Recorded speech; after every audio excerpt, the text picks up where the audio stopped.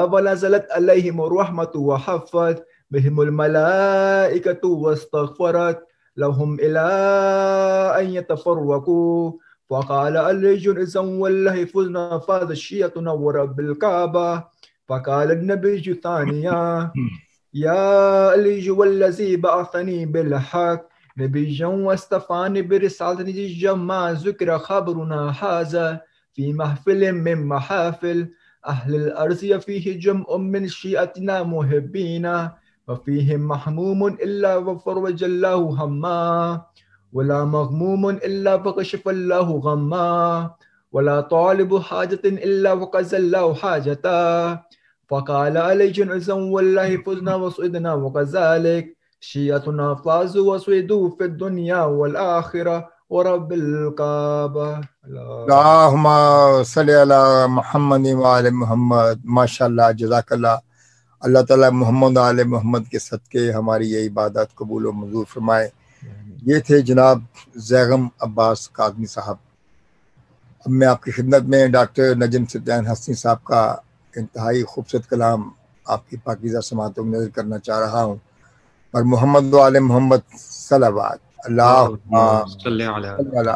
मोहम्मद फ़िक्र फन से अली है।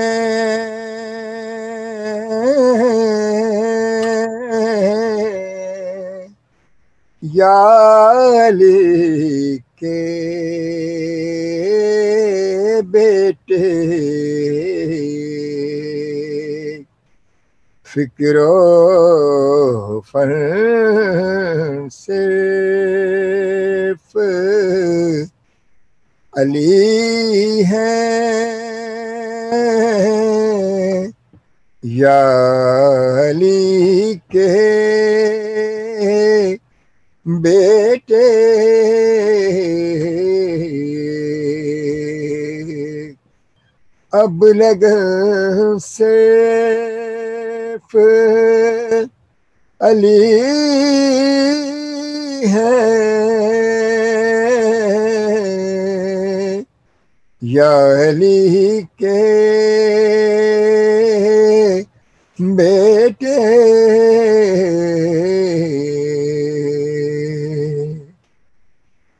जिन से तौहीद के सूरज की खबर ज़िंदा है।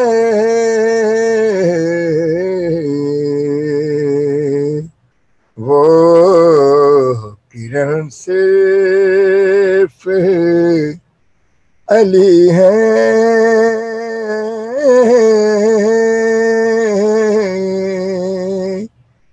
अली के बेटे।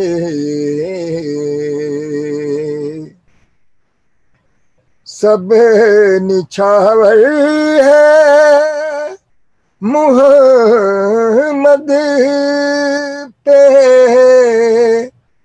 कहा खालिक ने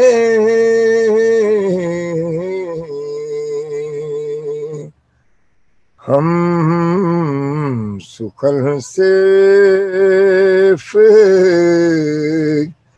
अली हैं।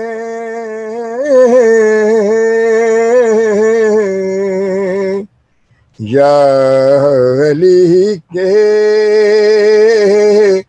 बेटे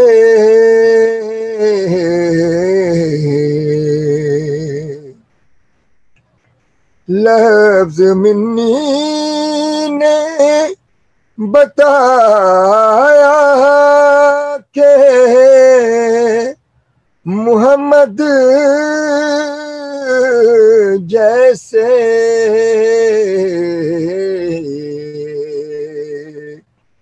मिल अनसिर्फ अली है या अली के बेटे। ल जाए लहम का लामी में पैम्बर ने कहा।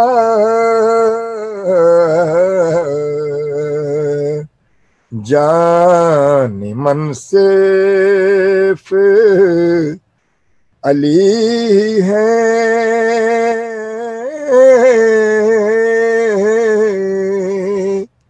या अली के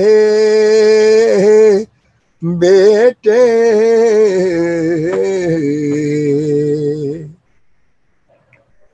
सब की कब्रें भी ठिकाने थी।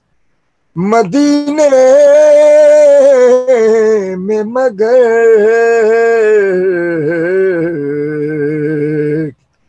बेवतन से अली है।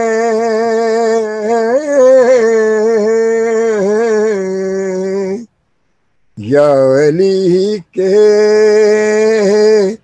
बेटे। फिक्रो फन सिर्फ़ अली है या अली के ए बेटे। अब लगन सिर्फ़ अली है। या अली के बेटे। अल्लाहुम्मा सल्ली अला मोहम्मद वाल मोहम्मद। अब मैं मुलतमिस हूँ जनाब मौलाना शुजात अब्बास उम्मी साहब से कि वो हमें मोहम्मद आल मोहम्मद की तालीमत की रोशनी में अपने ख्याल का इजहार फरमाए। मर मोहम्मद आल मोहम्मद सलाबाद अल्लाहुम्मा सल्ली अला मोहम्मद वाल मोहम्मद। बिस्मिल्लाह किबला। रहमान करल फातिहा। अल्लाहुम्मा सल्ली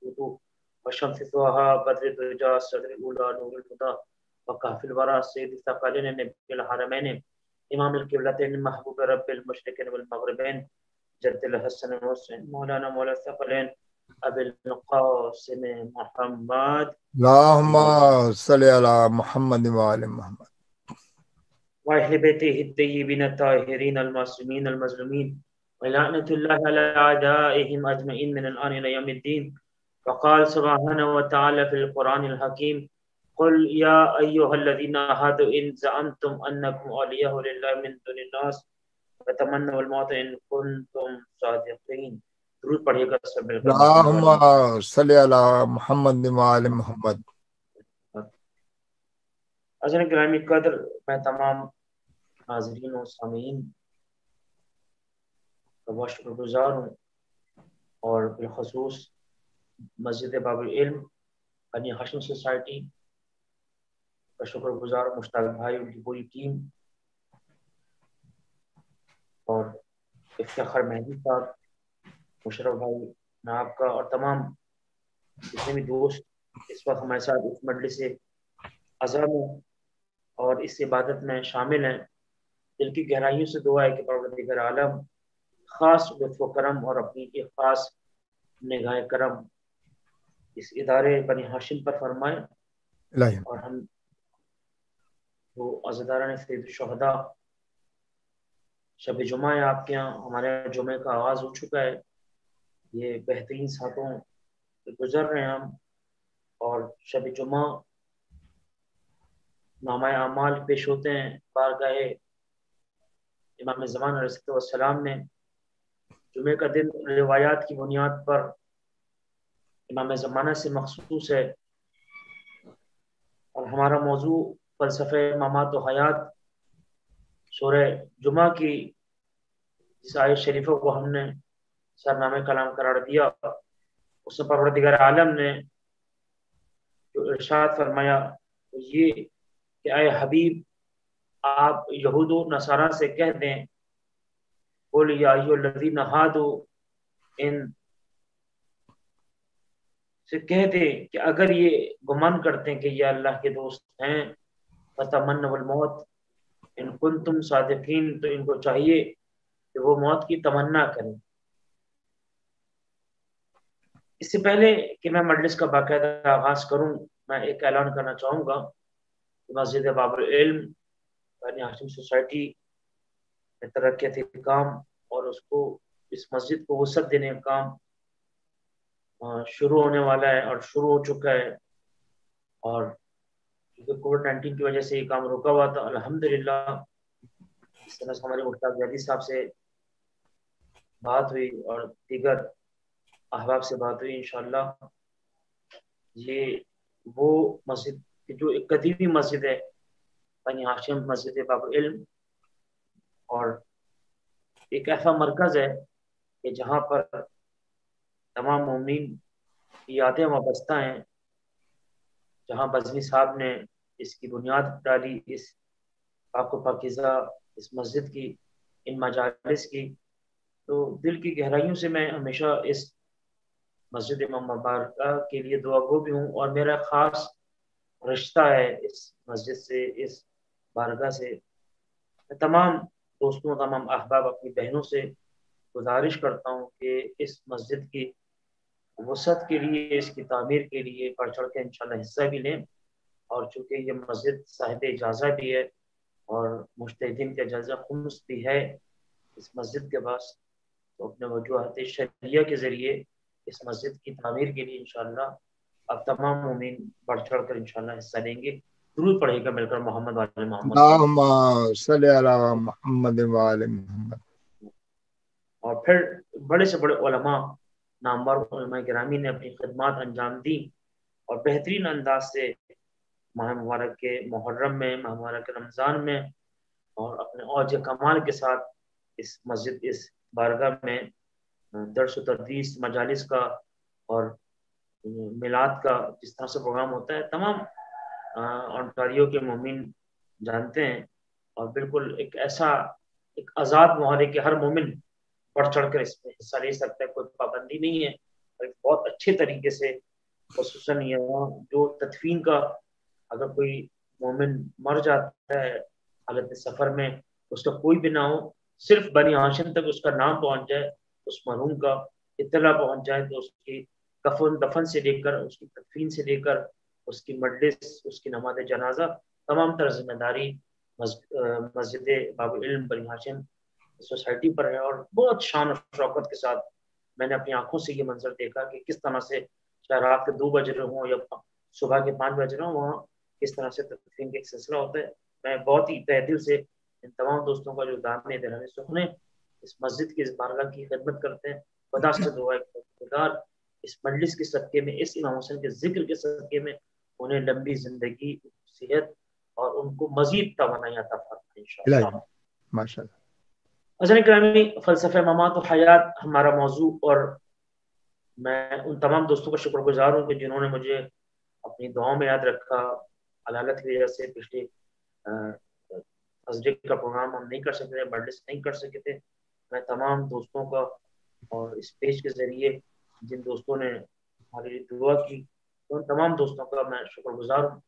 और ज़िंदगी का हदफ और हर सांस ज़माना की मकरूज़ है। इसलिए ये वो हजत खुदा है जिसकी बुनियाद पर जिसकी वजूद नाजनी की वजह से ये दुनिया कायम है।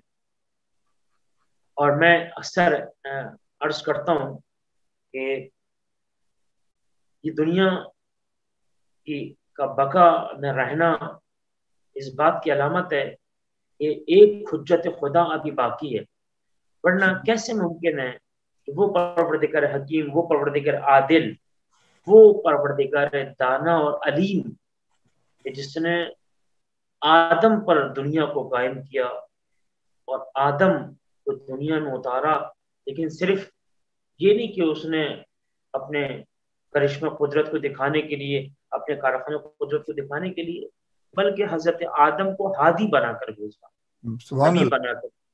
सुबह तो भाई ये पहला आदमी अल्लाह ताला आप उतार रहे हैं। मैं हाथों को जोड़कर अर्ज़ करूँगा तो ये कौन सी प्रॉब्लम है? कौन सा आदमी जहन्नुम में जा रहा था? कौन सा आदमी जो है वो गुनाह कर रहा था इस दुनिया में? तो कोई नहीं था। ये पहला आदम उतर रहा है। उसको उतरने दें आप आराम से। कुछ दिन हज़रत आदम ऐश करते पिकनिक मनाते, घूमते, फिरते। आपने पहले आदमी को नबी बना दिया, हादी बना दिया। अब सूर्य बकरा में, मैं जवान दोस्तों से, अपने बच्चों से मैं इस मैसेज को कन्वे करना चाह रहा हूँ। क्या वजह है कि सूर्य बकरा में जो डिटेल के साथ हज़रत आदम की तखलीक और उनका ज़मीन को उतरना? तो फिर और ये कहना कि मैंने खलीफा बनाया इस ज़मीन पर। ये वाजे और बजन आयात कुरानी है। तो अल्लाह ताला से मैं हाथ जोड़कर अर्ज़ करूँगा परवरदिगार, तू खालिक है, तू अलीम है। तू हर शय को बनाने से पहले उसकी हिकमत और उसके इल्म को, उसकी फिलोसफी को रखता है, जानता है। ये जो आदम, हज़रत आदम हमारे बाबा आ रहे हैं, हज़रत अबुल बशर आ रहे हैं, इनको अपने नबी बना दिए इनको हादी बना दिया, एक ड्यूटी देकर भेज दिया आपने, ये कौन सा पसंद इसमें कौन से कमाल था, बशरियत का? ये मशीयत परवरदिगार है कि वो परवरदिगार चाहता था कि आदम जब ज़मीन पर उतरे तो खुद आदम भी ये ना कह सके कि मेरे पास कोई हिदायत नहीं थी कोई हादी नहीं था, मैंने फना गुनाह कर लिया, फना मिस्टेक हो गई है। वो परवरदिगार चाहता है कि एक लम्हे के लिए भी इंसान हिदायत और हादी के बगैर ना रह सके।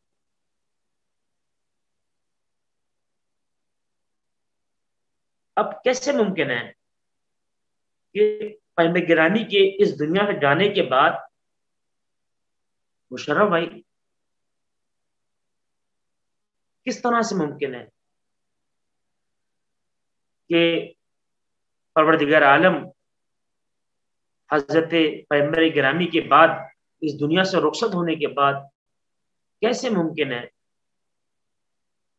कि कोई हिदायत का सिलसिला ना हो, कोई नबी ना हो, कोई हादी ना हो, कोई इमाम ना हो? इसलिए कि पैम्ब गिरामी के लिए वाजे कुरान ने हुक्म दे दिया कि ये खातमुन नबीजीन है आखिरी नबी है। इसके बाद कोई नबी नहीं आएगा। अब यहाँ पर लॉक लग गया। जब लॉक लग गया तो वो परवरदिगार की जिसकी मशीयत जिसकी मर्ज़ी ये थी कि आदम भी तनहा ना आए बल्कि हादी बनकर आए नबी बनकर आए कैसे मुमकिन है वो परवरदिगार पूरी कायनात को नबूत के बगैर छोड़ दे? नबूत यानी क्या मतलब हिदायत के बगैर छोड़ दे।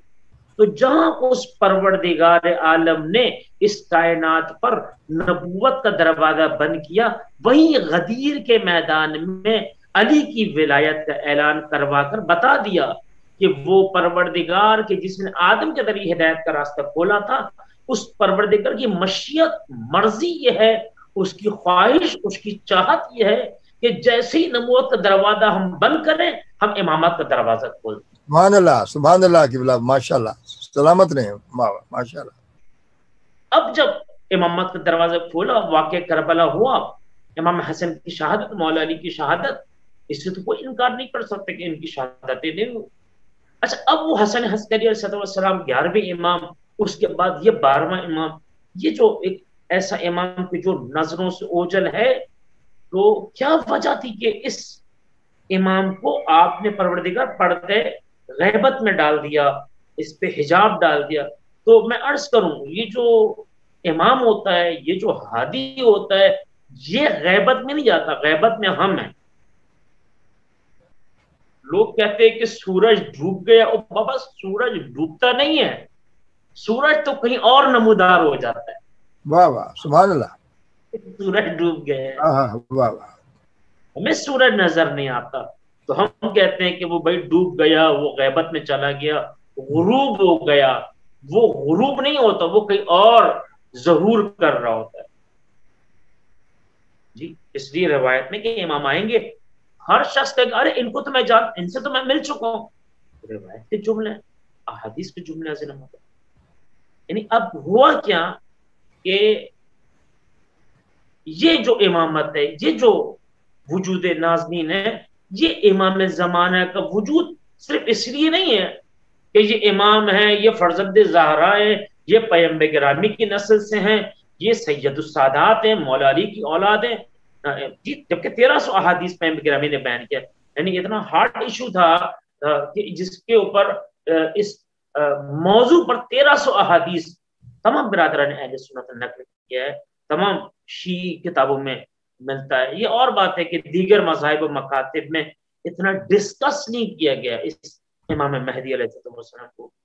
और जबकि आज आप देखें, आज जमाना जो है कि जब से सबसे हॉट इशू जो अगर होना चाहिए तो वो इमाम जमाना होना चाहिए। आज पूरी दुनिया का अगर कोई मसला होना चाहिए, जिस पर डिबेट जिस पर गुफ्तु होना चाहिए, वो इमाम जमाना का का मौजू है। अब देखें, अब पूरी दुनिया में कोरोना वायरस है, बीमारी है, बहरहाल, इससे हम डिस्कस नहीं करेंगे ये, चूँकि मेडिकल लाइन का मसला है कि ये कैसे बनी, कहाँ से ईजाद हुई, कैसे आई, ये बहरहाल, हम इस पर तो बात कर सकते हैं कि अगर एक वबा होती तो वबा चालीस दिन से ज़्यादा नहीं होती है, और फिर एक बात, एक अकलमंदी की बात ये, एक अकल हमें बताती है कि जहाँ माइनस फोर्टी सेवन हो माइनस फोर्टी हो फोर्टी सेवन हो माइनस सेवेंटी हो, माइनस फाइव हो, और कराची में, असन आप देखें बलूचिस्तान में जो है वो फोर्टी सेवन हो, माइनस नहीं फोर्टी सेवन गर्मी पड़ रही हो, लेकिन कोरोना वायरस से में बराबर है, यानी ये अगर, यानी एक वबा होती तो खास हिस्से में, एक खास मुल्क में, खास शहर में होती, भारत, ये जो भी है, भारत एक बीमारी है, इसका इनकार नहीं है खुदा इस मोहलिक बीमारी से तमाम बशरियत को मैं नहीं कह रहा कि सिर्फ़ शियों को अहले सुन्नत को मुसलमानों को इसमें हमें कोई कंजूसी करने की ज़रूरत नहीं किसी को कंजूसी करने की ज़रूरत नहीं और बल्कि दुआ करना चाहिए कि परवरदिगार बशरियत को इस मूजी मर्ज और बीमारी से निजात अता जजाकल्ला माशाल्लाह। आप बिहारुल अनवार में आप दीगर रिवाई कुतुब में उठाकर देखें कि जहाँ बाब है इमाम महदी सलाम का जहाँ रिवायात बयान की गई इमाम जमान सलाम पर वही दजाल की आमद का ज़िक्र किया। तो दजाल यानी दजल से निकल रहा है। जी दजल के माने क्या? फरेब झूठ फ्रॉड। ऐसा है? अच्छा। अब ये नहीं कि ये पर्सनैलिटी का नाम है शख्सियत का नाम है। मुमकिन एक ग्रोह का नाम हो मुमकिन एक गवर्नमेंट का नाम हो मुमकिन है दहशत गर्दों की टीम का नाम ठीक है? अब आप देखें रवायत में जो पैमग्रामी इरशाद फरमाया कि दज्जाल जो दजल करेगा जो हंगामा है फ्रॉड झूठ कहेगा वो, नहीं उसकी प्रैक्टिस क्या होगी? रिवायत में आया है छठे इमाम से रिवायत है शेख मुफीद इसको नकल किया है कि दज्जाल वो होगा जो सेहत बांटेगा। सेहत यानी वो कहेगा कि अगर किसी बीमार को शिफा चाहिए मेरे पास आओ मैं शिफा दूँगा। जी रिस्क बांटेगा वो कहेगा मैं रजाक हूँ मसन अगर आप मेरे झंडे तरे नहीं आए, मेरे आपने बैत की कि आपने मेरी नहीं मानी तो मैं आपको आउट कर दूँगा, मैं आपको पता चल जाएगा आपको ना, दिन में तारे नज़र आ जाएँगे। ये दज्जाल की कैफियत जो रिवायतें बयान की थी और जो इमाम महदी अलैहिस्सलाम के जहूर से पहले की अलामत है, उसमें ये तमाम चीज़ें बयान की गई हैं। हज़रत ईसा के नजूल से पहले, उनके आने से पहले, उनकी आमद से पहले, फिर अजन दूसरी जानब जो एक रिवायत बयान किया गया है कि यमन सना पूरी तशैयो पूरा इस्लाम, पूरे मुसलमान ख्वाब खरगोश के मज़े लूट रहे हैं। ठीक है ना? हमें अपनी अपनी पढ़ी है कि हमने कोरोना से कैसे बचना है। हमने वैक्सीन लग गई है, लगानी है। कौन सी वैक्सीन अच्छी है, किस कंपनी की है, वो लग गई है, वो साठ साल और पैंसठ साल और चालीस साल को हम लोग रो रहे हैं। ये ये हमारी इंसानियत है। हम अपनी फैमिली और अपने बच्चों की तरफ़ पड़े हुए हैं उनको देख रहे हैं कंजूसी से काम ले रहे हैं। वो बाबा तरह यमन में आकर देखें आप यमन को उठाकर देखें दुनिया का पूरा मीडिया खामोश है। जी और चूँकि इमाम हुसैन ने फरमाया जिस हुसैन का मातम करते हैं जी वो जिसने फलसफे ममा तो हयात को तब्दील करके रख दिया जिसने चेंज ऑफ़ लाइफ कर दी है वो जिसने गर्दन कटा के कुरान पढ़कर बताया कि मौत यजीद के हाथ में नहीं है मौत मेरे खुदा के हाथ में सुभान अल्लाह सुभान अल्लाह सलामत रहे माशाल्लाह। इसलिए वो बोलते ना आप उस इमाम हुसैन ने क्या फरमाया कि मेरे नाना रसूल की हदीस है कि शर्क में अगर जुल्म हो रहा हो किसी मुसलमान पर और गर्ब में मगरब में बैठा हुआ वेस्ट में बैठा हुआ मुसलमान अगर खामोश रहे और सुकून से रहे उसको कोई फ़र्क ना पड़े तो गोया वो उस जालिम के साथ है कि जिसने शर्क में रहने वाले मुसलमान पर जुल्म किया। वो भाई इस्लाम का कैनवस बहुत बड़ा है। बहुत वसी बहुत बड़ा है। ये हम कुएँ के मेंढक बन के ला इल्लल्लाह मोहम्मद रसूलुल्लाह आली वलील्लाह पढ़कर हम यासैन कहकर लब्बैक यासैन का नारा लगाकर हम बच नहीं सकते। जी हम सबने किरदार अदा करना है। और फिर इस किरदार के साथ साथ आप देखें यमन में होने वाले जो वाकयात हैं, ये जो कोरोना वायरस की बीमारी है, क्या मोहम्मद और आलिम मोहम्मद खामोश थे? वो भाई, पूरी दुनिया का नक्शा चेंज हो गया है इस एक बीमारी, इस एक फ्रॉड की वजह से। इसको जो इजाद किया गया, इसको जो बनाया गया। जी। ये तमाम चीज़ें क्या है? वो जोहरे इमाम की अलामतों में से यमन के बारे में, छठे इमाम की हदीस है कि सन कैपिटल ऑफ़ यमन में जब तुम जंग के शोले भड़कते हुए देख लो जान लेना कि इस जंग को कोई खत्म नहीं कर सकता जब तक कि हमारा कायम इस आग के शोलों को ठंडा ना कर दे। सवाल होता था आप बताएँ वो कब आएँगे? तो बहुत ज़ोर दिया गया क्योंकि रिवायत में कि अगर कोई बता दे कि इस दिन आ रहे हैं इस डेट को आ रहे हैं उससे बड़ा कजाब और झूठा कोई नहीं है। जी बहुत ज़्यादा सवाल किया गया। आयतुल्ला बहजत ने अपने शागिर्दों को दिन और तारीख और टाइम और जगह नहीं बताई। इतना कासिर इतना। एक जुमला था। कि वो आने वाले के इंतज़ार में तुम्हारे बूढ़े आमादा हो जाए। जवान नहीं, बूढ़े। इतना करीब है इमाम का क्या तुम्हारे बूढ़े आमादगी करें, उसको वेलकम करने के लिए, उसके जहूर के लिए तैयारी करें। बूढ़े। और फिर ये जो यमन की जंग है ये जो हालात हैं, आप देखें, पाँच साल से ज़्यादा हो गई इस जंग में दाखिल हुए हुए, पूरी दुनिया खामोश है, इंसानियत सिस्कियाँ ले रही है, भूख और प्यास का आलम और शिद्दत, कहत और बीमारी और कोई मेडिसिन, कोई दवा वहाँ पर नहीं है, अजन मोहतरम। इंसान है वहाँ पर, और नहीं हमें पता है कि उनका मज़हब क्या है, वो किस फिरके से हैं, वो हाथ खोल के नमाज़ पढ़ते हैं, हाथ बाँध के नमाज़ पढ़ते हैं इससे बहस नहीं है। वो इंसान है। चौतीस मुल्कों की फौजें उन पर बमबारी कर रही है। हाँ और इस्लाम और मुसलमान माह मुबारक रमज़ान के इस्तकबाल में लगे हुए हैं। ये हमें जवाब दे रहे हैं इमाम जमानों को। ये हमें रसूलुल्लाह को जवाब खुदा को जवाब देना। हम क्या कर सकते हैं? कम से कम हम इसको कर सकते हैं। अब जहाँ जहाँ हम आवाज़ उठा सकते हैं। हमें आवाज़ उठानी है। हम इमाम हुसैन के मानने वाले हम मजलूम के मानने वाले हम घबराने वाले डरने वाले जी मौत से पीछे भागने वाले नहीं है। कितनी बम्बारियाँ हुई कितनी गोलियाँ कितने खुदकश धमाके हुए। लेकिन आप अल्हम्दुलिल्लाह मल्टी से इमाम हुसैन रोकी नहीं है। बेशक बेशक। सलामत रहे किबला माशाल्लाह। बल्कि वो जो शहादतें होती थी हर शहादत पे वो मल्टी से बढ़ जाती थी। वो शहीद का जनाजा लेकर जो माँ बैठी हुई है, वो कहती थी, भाई, आप हज़रत अब्बास के मसायब पढ़े तो मैं अपने शहीद का मातम करूँ। हम हम तो उस कौम के मानने वाले हम हम उस कौम से ताल्लुक रखते हैं। हम उस इमाम हुसैन से मानने वाले कि जिसने फलसफे मामा तो हयात को बयान किया कि जब कुरान कहा, ला तहतमन नदीर कुतिलु फ़ी सबिल्लाह बल अहया इंदा रब्बिहिम युरज़कुन। खबरदार, आप शहीद को ना समझे कि ये मर गया है। इसकी रग हयात मुनकता हो गई बल्कि ये ज़िंदा है हई है ज़िंदा है। और आ, हमारी बारगाह से रिस्क मुसलसल पा जी ला कुतिलु फ़ी सबिल्लाह फ़ी सबिल्लाह जो अल्लाह की सबील में मारा गया तुम गुमान नहीं करना ये मर गया बल्कि ज़िंदा और रिस्क मुसलसल पा रहा है फिर परवतिकर ये ज़िंदा है तो ये रोटी नहीं खाता हमने। हमने इसको जूस पीते हुए नहीं देखा शहीद को हमने बड़े शहीदों के जनाजे देखे, ये तो ना रोटी का सवाल करता है, ये तो मर गया है, ये ज़िंदा कैसा है? अब कोई शहीद रोटी मांगे, खाना मांगे डेड बॉडी पड़ी है, लेकिन आप देखिए, कोई शहीद खाना नहीं माँगता है, रोटी नहीं माँगता है, खुदा कह रहा है, ये ज़िंदा परवतिकर ये ज़िंदा है तो कैसे ज़िंदा है? वो भाई, ज़िंदगी की अलामत तो यह है कि उसकी सांस चले, उसकी आँखें हरकत करे, उसके कान सुने, उसके जबान बोलती भी नज़र आए। हाँ ये इसको हम ज़िंदा कहते हैं परवरदे का हमारा कानून, हमारी साइंस हमारा मेडिकल साइंस तो ये कहती है कि ज़िंदा तो वो होता है जो, जो बोलता हुआ नज़र आए जो देखता हुआ नज़र आए हम कैसे एक शहीद को ज़िंदा मान लें? आप कह रहे हैं कि ला ताहतमन कुतिलु। वो जो हमारी राय में कत्ल हो जाए मर जाए गोलियाँ खा के बम धमाकों से कत्ल हो जाए उसको आप मुर्दा ना समझें। देकर ये लॉजिक कैसे हम समझ में आएँगे? अब सूर्य कहफ की अब आयत उठाकर देखें।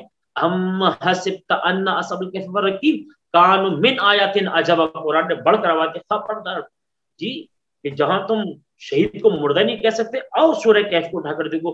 अम हसिबता क्या ए रसूल, आप गुमान करते हैं कि असाबे कहफ गार में रहने वाले हमारी इनकान मिन आयातिन अजब क्या हमारी बड़ी निशानी में से निशानी नहीं है, यही हमारी निशानी है। और यही काम करबला के मैदान में शाम के बाज़ार में नोके नेजा पर एक सर सूर्य कैफ की तिलावत करके बता रहा था वो असाब कहफ से बड़ी अगर कोई निशानी है तो मैं हुसैन इब्न अली बड़ी निशानी।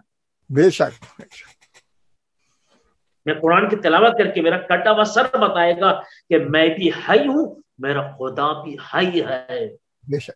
वो जो यजीदियत समझ रही थी कि हमने हुसैन को कत्ल कर दिया खत्म हो गई करबला की जंग का करबला की जंग खत्म नहीं हुई है।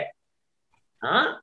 कोई ना समझे कि हमने हुसैन को खत्म कर। हुसैन ज़िंदा है हुसैन हाई है और हई होने की अलामत क्या बताई थी जो देखता हो जो बोल सकता हो। ये इमाम हुसैन का सर कटा हुआ सर नोके निजा पर। अम हसिबता अन असल आयत आजब की आयत पढ़कर बता रहा है कि मैं ज़िंदा हूँ। हम्म। यजीद तो पूरी यजीदियत मिलकर कयामत तक ये दाइश तालिबानों ये सिपाही साहबा, ये जितने भी दुश्मन ने दीन है, ये जो दीन, ये दाढ़ी रखकर दीन की बात करके, ये दीन को रुसवा करने वाले, आप पूरे, आप देखिए ना आलम कायनात में पूरी दुनिया में मुसलमानों को जलील रुसवा करने वाले ये दहशतगर्द दाइश, ये बदबक लंबी लंबी दाढ़ियाँ रखकर, इन्होंने दीन का मज़ाक उड़ाया, इन्होंने बच्चों और औरतों के सर काट के, जी, धब्बा बना दिया इन्होंने हाँ अल्लाह अकबर कह के मस्जिदों को बम धमाकों से उड़ा दिया। ये दीन है। नहीं इमाम हुसैन का दीन ये नहीं है। दीन अगर लेना है तो यजीदियत के दरबार से नहीं मिलेगा। अगर दीन चाहिए दीन इस्लाम बस इनका दीन चाहिए। आओ हुसैन इब्न अली के मकते के पास। मजलूम के दरवाजे से तुम्हें दीन मिलेगा। ये अगर दीन चाहिए तो हुसैन इब्न अली की बारगाह से मिलेगा। क्या कहने की माशाल्लाह। और आप देखे ना अब अगर आप इस दौर में किसी को तोहीद समझाना है वो बाबा मंत्री को फलसफी की ज़रूरत नहीं है बखुदा नहीं है। सिर्फ़ एक हिस्ट्री का एक स्टूडेंट आकर उठाकर देखे तारीख को उठाकर देखे देखे कि करबला में हुआ क्या? है अगर किसी को इमामत समझ में नहीं आ रही गदीर समझ में नहीं आ रहा अगर किसी को मनकुन तो मौला फहाद अली मौला समझ में नहीं आ रहा किसी को हसन मुश्तबा की इमामत समझ में नहीं आ रही किसी को रसूलुल्लाह की नबुआ समझ में नहीं आ रही खत्म नबूत समझ में नहीं आ रही वो बाबा, परेशान नहीं हो। वो करबला आ जाए सिर्फ़ करबला आ जाए अगर किसी को तोहिद नहीं समझ में आ रही, खुदा एक है, उसको फलसफा कयामत तो माँ माद हयात ममात समझ वो करबला है। इस करबला में इमाम हुसैन ने एक ऐसी कुर्बानी दी, एक ऐसी कुर्बानी कि जिसने साबित कर दिया है तोहीद को, नबुवत को, इमामत को, कयामत को अदले परवरने का। सबको उसने वाजे कर। वो एक कुर्बानी है। तो भाई आप आप पता ना एक आदमी के पास एक, एक इंसान के पास सबसे कीमती चीज़ क्या होती है? हाँ, उसका ओहदा होता है। आज मेरे पास ओहदा है। उनके लिए कल मेरे पास ये ओहदा ना हो। ये कुर्सी ये इज़्ज़त। हो सकता आज में आज है कल नहीं। जी। माल दौलत आज मकान है घर है ये सब। दो मिनट में मट्टी मिल जाता है। इस पर फख्र नहीं करना चाहिए क्योंकि माल दुनिया पर, किसी को हदे दुनिया पर। अगर इंसान नाश करता है तो वो अपनी औलाद पे करता है, औलाद। जिसके लिए वो सब कुछ दाव पे लगा देता सब कुछ लगा देता है। अब सवाल है क्या, इमाम हुसैन को अपने अली अकबर से मोहब्बत नहीं थी? इमाम हुसैन ने अली अकबर देकर बताया कि खुदा है। अल्लाह अकबर। खुदा है। कैसे है भाई? मतलब किस तरह से खुदा है? अब रिवायत के जुमले हैं, तारीख के जुमले कि जब इमाम हुसैन ने अपने इस सभी पैम्बर इस बेटे को जब रुखसती के लिए भेजा और सलाम के लिए करके जब इमाम हुसैन ने इस बेटे, इस फर्जन को भेजा तो अब तारीख के जुमले हैं कि इमाम हुसैन की जब निगाह पड़ी है, इब्ने साद पर तो एक जुमला था अल्लाह रहमा परवरदिगार, जिस तरह से ये मेरी नस्ल को तबाह कर रहा है, ये जिस तरह मेरे बच्चों को जिबा कर रहा है परवरदिगार तो उसकी नस्ल को तबाह कर दे। बोला हुसैन, मैं हाथों को जोड़कर अर्ज़ करूँगा, आप नवासे रसूल हैं। आपने कभी बदुआ नहीं दी किसी को? अपने नाना ने बदुआ नहीं दी, आप बदुआ दे रहे उमर अपने साथ को। लेकिन अजर मोहतरम हुसैन बाप है और इमाम हुसैन पर वाजिब था बाप होने की हैसियत से कि दुनिया को बताना चाह रहे थे कि इमाम उसे कहते हैं कि जो हर कमाल में पूरी दुनिया में तमाम इंसान पर अफजल हो। इल्म के लिहाज से अफजल हो सखावत के लिहाज से अफजल हो। यानी अगर देखा जाए दुनिया में सबसे बड़ा सखी कौन है? तो इमाम जमाना सबसे बड़े सखी। जी? बेशक बेशक। जिस दौर जिस दौर में जो इमाम होगा वो कमाल बशर में सबसे ज़्यादा अफजल होगा। भाई, मुशर्रफ भाई, आप, मुश्ताक भाई, आप, मैं अपनी औलाद से मोहब्बत करते हैं। औलाद से मोहब्बत करना कमाल है या नहीं है? कमाल है, अल्हम्दुलिल्लाह। आप अपने बच्चों से मोहब्बत करते हैं, कमाल है। अब इमाम हुसैन पर मिन है से इमाम वाजिब था कि जिस तरह तुम और मैं अपने बच्चों से मोहब्बत करते हैं, इसी तरह इमाम हुसैन पर वाजिब था कि पूरी कायनात में सबसे ज़्यादा अपनी औलाद से मोहब्बत करने वाला कौन होना चाहिए? इमाम हुसैन जी इमाम हुसैन जब भेज रहे थे तो ऐसा नहीं था कि सीने पत्थर लग रहा था। नहीं, बाप तो वो दिल कि जो पूरी कायनात में सबसे ज़्यादा अपने बेटे अली अकबर से मोहब्बत करता लिहाजा इस मोहब्बत की बुनियाद पर इमाम हुसैन पर वाजिब था कि जब उमर अपने साथ को देखें तो बदुआ दें। अतुल्ला जजाई ने उनके मेंबर से मसाए भी जाने में लिखबर पढ़ते हुए नौ मुहर्रम की रात को एक रवा, एक वाक्य बयान किया। मैं उसे पढ़कर मजलिस को तमाम कर रहा हूँ। और उन्होंने बयान किया कि करबला सिटी में एक आलिम रहता था और उसका तरीका यह था कि वो हर सुबह नमाज़ फजर के बाद ज़रिए इमाम हुसैन पर बैठता था। परवरदिगार से दुआ करते हैं, परवरदिगार, खान काबा, बैतुल्ला, परवरदिगार करबला और नजफ के दरवाजे, शाम के दरवाजे दोबारा से परवरदिगार खोल दे, परवरदिगार, वो जामिन आहू, इमाम रजा मासूम कुम के दरवाजे, वो बीबी जैनब के रोज़े के दरवाजे शहदा परवरदिगार दोबारा से खोल दे। परवरदिगार इस कोरोना से इंसानियत को निजात अता फरमाए। अगर जजायरी फरमाते हैं कि करबला में आलिम था हर फजर में नमाज़ के बाद बैठता था इमाम हुसैन की जहारत करता था और जरी के सामने बैठकर दुआएँ किया करता था दर्द शुरू होने से पहले। अगर जजायरी फरमाते हैं एक मरतबा उस आलिम ने देखा एक बुद्धू एक गाँव का देहाती अरब आया है और ज़रिए इमाम हुसैन पर धाड़े मार मार के रो रहा है, शिद्दत से गिरिया कर रहा है। काफ़ी देर तक ये आलिम जरी इमाम हुसैन को देखता रहा। जब उसकी शख्स पर नज़र पड़ी तो उसका दिल जख्मी हो गया कि एक फकीर, एक गरीब, एक जाती आदमी आकर इमाम हुसैन से इस तरह से मांग रहा है या कि उसके पीछे खड़ा हो गया। आलिम जब वो पलटा तो उस आलिम ने कहा शख्स, मैं करबला का एक आलिम दीन हूँ। मैं इस शहर करबला में रहता हूँ। लगता तुम्हारे अगर कोई मरीज़ है, कोई परेशानी है, तुम्हारे घर शायद कुछ खाने पीने को नहीं है। मैं तुम्हारी मदद करना चाहता हूँ। इमाम इमाम हुसैन के सत्य में तुम्हारी कुछ मदद करना चाहता हूँ। अगर जजारी फरमाते हैं, उस शख्स ने पलट कर कहा कि, ए आलिम दीन, मुझे तुमसे कुछ नहीं चाहिए। मेरा मसला इस साहिब जरी इमाम हुसैन के साथ है। अगर जजारी कहते हैं कि ये शख्स पलट गया, ये आलिम परेशान होकर बैठ गया कि इसने मुझसे कुछ मांगा नहीं। अजीब आदमी है। कल दूसरे दिन जब ये आलिम बैठता है तो ये दूसरे दिन फिर शख्स दोबारा आता है। ज़रिए इमाम हुसैन पर जारो कता गिरिया कर रहा होता है, ये आलिम उठता है, कहता है, ये तो मुझसे कुछ माँगता नहीं, जरा चलो, मैं सुनता हूँ कि इसको क्या प्रॉब्लम है, क्या ये मांग रहा है इमाम हुसैन से? मैं किसी बहाने से इसकी मदद कर दूँगा। इमाम हुसैन की खातिर ये आलिम जब जाके खड़ा होता है तो अजीब जुमले आगा जजायरी ने फरमाया उनके मेंबर से मजलिस पढ़ते हुए मुहर्रम को, अब्बास ने इसको ज़िक्र भी किया और ये आलिम कहता है कि जब मैं खड़ा हुआ तो ये शख्स जारो कतार रो रहा था और ये दुआ कर रहा था अय रब हुसैन, तुझे इस हुसैन का वास्ता ए रब हुसैन, तुझे इस हुसैन का वास्ता मेरी तीन बेटियाँ हैं।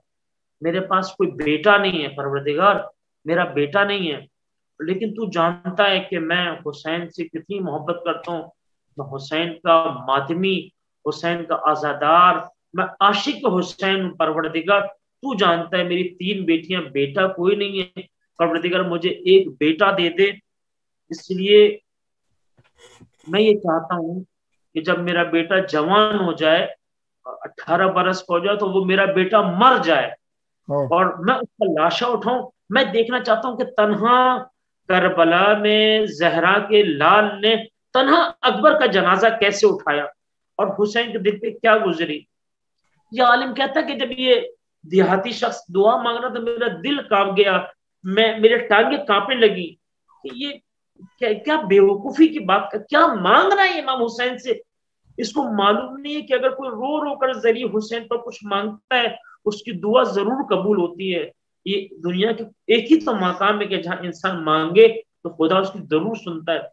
मैं वालिम कहता है, मैं काँप गया, मैं डर गया कि ये क्या मांग रहा है?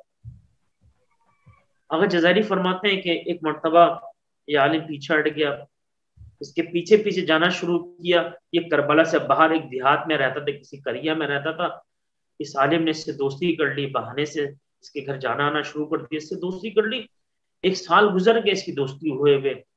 एक मरतबा ये दोस्त इसका खुशी खुशी आता है कहता है कि शीरनी मिठाई लेकर आता है बहुत खुश होता है। यालिम कहता है आज तुम बहुत खुश नज़र आ रहे हो। कहा हाँ अल्लाह ने मुझे एक बेटा दिया है। यह आलिम जब जैसे सुनता है, इसका दिल काँप जाता है उसको फ़ौरन इसकी दुआएँ, इसकी मुनाजात, गिरिया याद आता है। अब अगर जजारी कहते हैं कि इस आलिम ने पूछा कि तुमने अपने बेटे का नाम क्या रखा? तो मैं नाम क्या रख सकता था? मैंने अपने बेटे का नाम अली अकबर नाम रखा है। जब आलिम ने सुना ना इसने अपने बेटे का नाम अली अकबर रखा है, ये और मजीद घबरा जाता है। खैर ये आलिम इसके घर जाता आता है, तेज़ी से इसका बच्चा बड़ा होने लगता है। जैसे जैसे बच्चा बड़ा होता रहता आलिम कहता है, मेरा दिल हमेशा घबराता था। मैं जानता था, मेरे दोस्त ने, इस बच्चे के बाप ने, इस अली अकबर के बाप ने, करबला में इमाम हुसैन से क्या मांगा है? कहा, जब ये बच्चा अठारह बरस का हुआ, इसका बाप शहर से बाहर गया हुआ था, एक मरतबा इसको इतला पहुँची कि तुम्हारा बेटा छत से गिरकर मर गया है। कहा, जब हम सब दोस्त इसके बाप के पास गए, देखा इसका चेहरा बहुत मुतमिन है। इसका बाप परेशान नहीं है। बहुत आराम से, बहुत सुकून से ये बैठा हुआ है। लोग आके इसको तस्वीर पेश कर रहे हैं, इसको गले लगा रहे हैं कुर्सा दे रहे हैं, आराम से। गुस्लो कफन में भी आगे बढ़ चढ़ कर हिस्सा ले रहे हैं। तमाम दोस्त परेशान है, करबला के लोग परेशान है। ये कैसा बाप है जो अली अकबर का मातम नहीं करता, अली अकबर को रोता नहीं है? पर लेकिन सिर्फ़ मैं वाहिद ऐसा इंसान था जो जानता था। इसकी तो तमन्ना ये थी, इसकी तो दुआ ये थी इसने तो इमाम हुसैन की कब्र पर मांगा ये था कि परवरदिगार, मुझे एक बेटा दे जो जिसका नाम अली अकबर रखू, अठारह बरस का मर जाए और मैं वो दर्द देखना चाहता हूँ कि तनहा इमाम हुसैन ने अकबर का लाशा कैसे उठाया। दादा रिवायत के जुमले ये आलिम कहता है कि जब तमाम दोस्त सब परेशान थे कि ये अपने बेटे पर गमजदा नहीं है जैसे ही करबला का कब्रस्तान नज़र आया, हम पहुँचे। मैंने देखा कि इस बाप का चेहरे का रंग आहिस्ता आहिस्ता बदल रहा है। जब तीन दफ़ा इस जनाजे को रखा गया, उठाया गया, जो इस्तेबाब है, जब कब्र करीब आई तो सब दोस्तों ने कहा, उठो, अपने बेटे को दफन करो। उठो, अपने बेटे को उठाओ, लाशों को दफन करो। अब ये जब उठना चाहता है तो ये शख्स उठ नहीं सका। लोगों ने सहारा दिया, अब उठना भी चाहता है, उठ नहीं सका। ये आलिम कहता है कि जब तक मैं करबला में रहा, मेरा दोस्त दीवारें पकड़ पकड़ के चलता था। इसकी कमर टूट गई थी, इसकी आँखों की बिनाई चली गई थी। अयादारों आप समझे, ये अली अकबर वाहिद एक ऐसा शहीद था कि जब इसने आवाज़ दी, अस्सलाम या अबता, खुदा ना करे किसी बूढ़े बाप का बेटा मर जाए और उसको अपने जवान का लाशा उठाना पड़े। अदीदों तारीख के जुमले हैं कि जब हुर का बेटा जब घोड़े से गिर के जब शहीद होने लगा तो हुर का बेटा प्यासा नहीं था, हुर तीन दिन का प्यासा नहीं था। इमाम हुसैन तेज़ी से घोड़ा दौड़ाते हुए गए। हुर ने कहा, मौला, आप मुझसे पहले पहुँच गए। मौला, आप पीछे हटे मैं अपने बेटे का लाशा उठाना चाहता हूँ। इमाम हुसैन ने पलट कर कहा था अय हुर, कैसी बातें कर तो कि कहीं देखा है कि कहीं बूढ़ा बाप अपने जवान का लाशा उठाए? हुर, मैं कहूँगा, असरा शूर आना कि जब जहरा के लाल हुसैन तरह हो जाए ना ओनो मोहम्मद रहे, ना अब्बास रहे, ना कासिम रहे। अब जब आजादारों जब अकबर का लाशा उठाने के लिए हुसैन आगे बढ़े, नजरन कभी दाएँ देखते, कभी बाएँ देखते, कोई नहीं था कि जो अकबर का लाशा उठाने मदद करता। तरह हुसैन हुसैन गरीब नहीं था, हुसैन वो कि जिसने करबला के ज़मीन को खरीदा है। हुसैन के गरीब इमाम का नाम नहीं। हुसैन तो गरीब तब हुए कि जब उसका अकबर मारा गया। अदादार तारीख कहती है कि एक मरतबा नजरन शमाला कोई नहीं आया। तो शहदा का वाद या पास आगे बढ़ो। अरे मुस्लिम आगे बढ़ो, अरे मेरे दोस्तों आगे बढ़ो बड़ो हुसैन का साथ दो, मुझे अपने अकबर का लाशा उठाना। है अया शहदा के लाशें तड़पने लगे, खाकी करबला पे। अब तारीख कहती है कि इमाम हुसैन ने बनी हाशिम के बच्चों गवा दी जब बच्चे भी ना आ सके, एक मरतबा हुसैन जब अपने अकबर का लाशा उठाने के लिए झुके थे मीर अनीस ने एक जुमला का, एक शेर कहा है। मैं खत्म कर रहा हूँ मजलिस को। एक मरतबा चाहने वाली बहन के खैमे का पर्दा उठा और आवाज़ आती है लाशा है बराबर का भैया से न उठेगा। लाशा है बराबर का भैया से न उठेगा। मैं पालने वाली हूँ, गोदी में उठा लूँगी। रबना तकब्बल मिन्ना, इन्नका अंतस अलीम। परवरदिगार तुझे बहती आँसू को वास्ता परवरदिगार तुझे खलीस इबादत का वास्ता परवरदिगार हमारी गलतियों लर्जिशों को माफ़ फरमा। आमीन बरला तुझे अजमत अली मोहम्मद को तमाम नाजीन तमाम सामीन की तोफ़ीक़ात में इजाफा फरमा। आमीन जितने भी दोस्तान हमारे अलील हैं बीमार हैं परवरदिगार उनकी सेहत कुल्ली और शाफ है और सेहत कामिल और आजला अता फरमा। परवरदिगार मोमिन में इत्तेहाद मोहब्बत उल्फत को कायम दायम फरमा। मस्जिद बाब इल्म बनी हाशिम सोसाइटी के परवरदिगार जल्द तामीर होने के असबाब मुहैया फरमा। परवरदिगार तमाम हद तक हिफाजत फरमा। परवरदिगार और में जो जो उलमा अपनी खिदमत अंजाम दे रहे हैं परवरदिगार तमाम हक का तमाम दीन की हिफाजत फरमा। परवरदिगार तमाम अजहदारा ने शहदा पर अपने खास निगाह करम फरमा। परवरदिगार तुझे अजमत आल मोहम्मद को दुश्मन दीन दुश्मन मकतब दुश्मन इस्लाम को नाबूद फरमा। परवरदिगार इस बेहतरीन ज़िक्र का वास्ता ज़िक्र इमाम हुसैन में शिफा है परवरदिगार। तेरा वादा है तूने इस ज़िक्र में शिफा रखी परवरदिगार इस ज़िक्र ज़िक्र का वास्ता इस इमाम हुसैन की मजलिस का वास्ता परवरदिगार कोरोना वायरस इस मोहलक बीमारी को तमाम इंसान को निजात अता फरमा। परवरदिगार तुझे अजमत आल मोहम्मद का वास्ता और महबूब को हमारे वक्त इमाम को हमसे राज़ी हो खुशनूद फरमा। रब्बना तक़ब्बल मिन्ना इन्नका अंतस मातम हुसैन या हुसैन।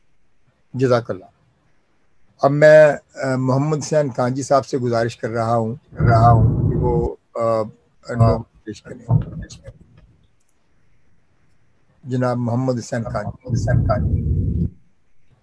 मामा करबला दिया मामा